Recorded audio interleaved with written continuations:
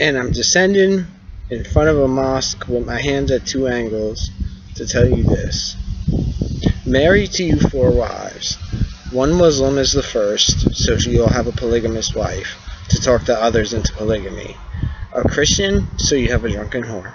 A Jewish, so you have one of the chosen people of God.